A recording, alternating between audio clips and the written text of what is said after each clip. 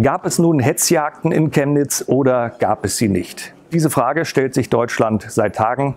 Und heute haben wir quasi amtlich die Antwort aus dem Kanzleramt erhalten. Es gab sie nicht.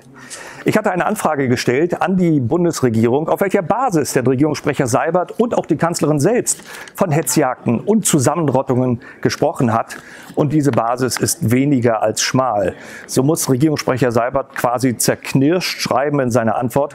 Er berief sich seinerzeit auf Schilderungen in den sozialen Medien und auf ein Video, das wir alle kennen, ein Video von Antifa Zeckenbiss, also offensichtlich von einem linksextremen Absender.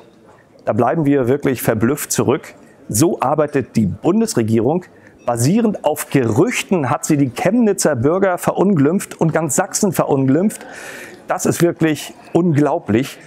Und man muss auch die Folgen ins Auge nehmen. Denn mit diesen Aussagen hat Frau Merkel bewirkt, dass eine ganze Lawine falscher Berichterstattung losgelaufen ist. Es gab dann de facto eine Hetzjagd, eine Hetzjagd auf die Chemnitzer Bürger, die zu Hunderten friedlich demonstriert haben in ihrer Stadt und für ihre Stadt.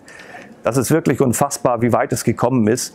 Ja, es hat vereinzelt Übergriffe gegeben, aber eben keine Hetzjagden. Und das muss jetzt deutlich klargestellt werden. Und Frau Merkel steht in der Verantwortung, jetzt wirklich öffentlich zurückzurudern und sich bei den Chemnitzern dafür zu entschuldigen. Wie aus Kübeln ist es auf die Chemnitzer hereingeregnet und das Bild muss deutlich von oben korrigiert werden.